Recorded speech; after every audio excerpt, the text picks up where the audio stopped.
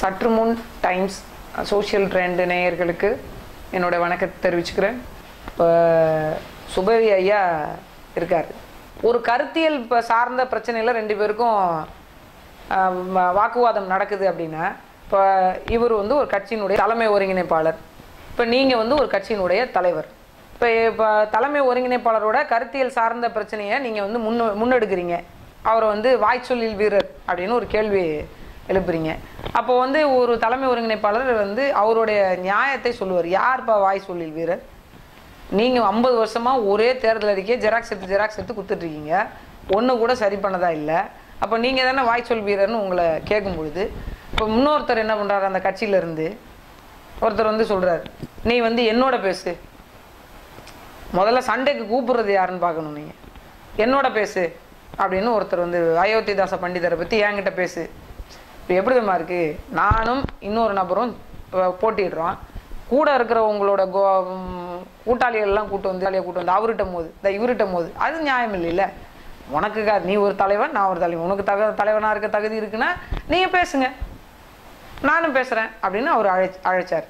அதை வந்து நம்ம ஊர் பாஷையில் பேசுகிறாங்க வேற நாங்கள் என்ன வெளிநாட்டு பாஷையாக கற்றுட்டு வந்து பேச முடியும்? பேசுகிறாங்க நம்ம ஒத் நாங்கள் வந்து ஒத்துக்கணும் சொல்லணும்னு அவசியமே இல்லைங்க. அவங்க சுபவி அவர்களுடைய பேட்டி வந்து வலைதளங்களில் ரொம்ப பரபரப்பாக போயிட்டு இருக்கு. பாருங்க.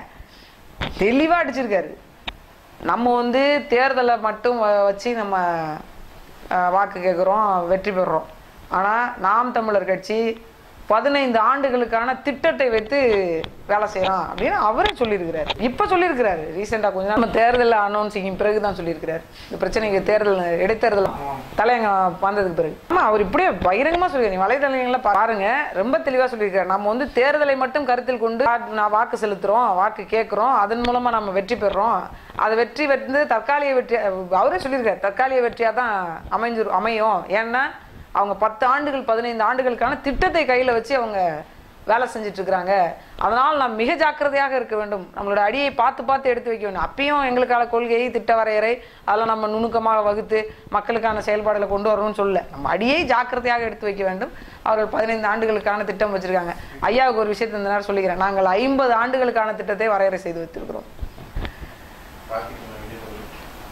மிக முக்கியமாக ஐம்பது ஆண்டுகளுக்கான திட்டத்தை நாங்கள் வரையறை செய்து வச்சிருக்கோம். அன்பு ஐம்பது ஆண்டுகளுக்கு பிறகு தமிழ்நாடு எப்படி இருக்கும்னு கேட்டிங்கன்னா எங்கள்கிட்ட திட்டம் இருக்குது தூக்கி அப்படியே டப்புன்னு போடும். ஒவ்வொருத்தருக்கும் எங்களும் இல்லை நாம் தமிழர் கட்சியில் உள்ள அனைத்து உறுப்பினர் அடிப்படை உறுப்பினர் வரைக்கும் நீங்கள் கேளுங்க. அப்படியே எங்கள் திட்டத்தை அப்படியே அழகழகாக எப்படி கொண்டு போவோம் எந்த சங்கிலியை எதோட கொண்டு தொடர்புடையப்படுத்தி அதனுடைய தற்சார்பு பொருளாதாரம் மூலமாக இந்திய வருவாயை பெருக்கும் அப்படின்றதெல்லாம் வந்து தமிழ்நாட்டோட வருவாயை பெருக்கும் அப்படின்றத அப்படியே அக்கக்க அக்கக்க நீங்கள் அப்படியே எடுத்து பார்த்தீங்கன்னா உங்களுக்கு கால அட்டவணை போட்டு உங்களுக்கு ஆரோ மார்க்லாம் போட்டு அப்படியே ஒரு டிஸ்ப்ளே கண்ணில் உனக்கு பளிச்சுன்னு தெரிஞ்சிரும் உங்களுக்கு. அந்த அளவுக்கு திட்ட வரையறை வச்சுருக்கோம். அது அவருக்கு நான் தெளிவாக சொல்ல விரும்புகிறேன் அவர் வேற பாவம் பதினஞ்சு வருஷம் சொல்லிட்டார். ஐம்பது வருடங்களுக்கான திட்ட வரையறை இருக்குங்க ஐயா. திட்டத்தை வைத்து நாங்கள் மிக தெளிவாக செயல்படுறோம். நாங்கள் வந்து ஏற்கனவே நாங்கள் அதை பண்ணணும் இதை பண்ணணும் என்ன பண்ண போகிறோம் அப்படின்றது தெளிவாக மிக தெளிவாக வச்சுருக்குறோம். அவர் வந்து நான் என்ன சொல்கிறேன் நீங்கள் கருத்தியலாக மோதுங்க சண்டை போடுங்க. புரியல வரீங்களா அப்படின்னு அவர் கேட்டது. மற்றபடி அவர் சண்டைக்கு வாங்க நம்ம அடிச்சு நிற்போம் அப்படின்லாம் அவருக்கு எண்ணம் கிடையாது. ஆமாம் வேற என்னதுங்க கூப்பிடுவாங்க? விவாதம் பண்ண தான் கூப்பிட்டது. விவாதம் தான் கருத்தியல் தொடர்பான விவாதம். அதுல தானே முரண் காண நமக்கு. நம்ம சேனலோடு முரண் தொடர்ந்து வரத விவாதம் பண்ண முடியும்?